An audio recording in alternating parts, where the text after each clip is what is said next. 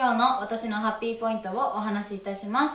と今日は桃組さんでは作品展の準備あのラストスパートということで、えっと、共同制作のあの仕上げを仕上げとあと個人制作の仕上げを行っていきました。で、えっと、個人制作の仕上げの方はあのまず形を作ったものがあるんですけどもそれを色それに色を塗るという作業をやっていきました。であのやっぱり個性が出ていてこう一色で全部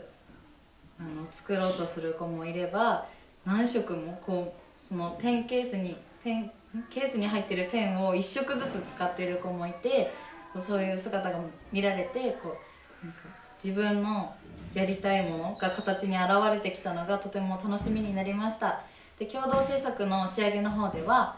コーヒーカップをあの遊園地のコーヒーカップを作ったんですけれどもそこにあの模様を手形で貼っていきました。であの模様こう手形を押す時に私がこう白い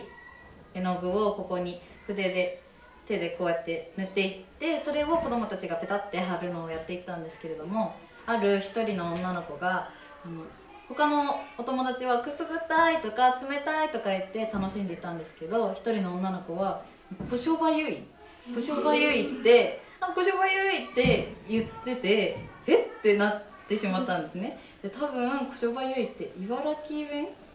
ですよね きっと。茨城弁かなを喋っていてえ？この年中さんでも茨城弁をしゃべる子がいるんだっていうことにちょっと驚いてでもそそういう言葉を知っていたりとかこうなんか手の感触だったりとか味わってる姿が見られてとても嬉しくなりました。でどんどんあの